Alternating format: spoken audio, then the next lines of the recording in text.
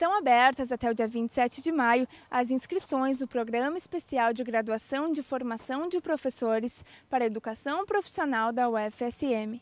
São 150 vagas distribuídas em sete eixos temáticos. A seleção será constituída de análise de currículo e entrevista. A inscrição custa 75 reais e pode ser realizada no link Ingresso e Reingresso localizado na página da UFSM.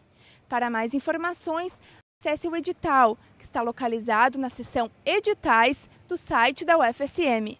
Na Andressa Catani, repórter TV Campus.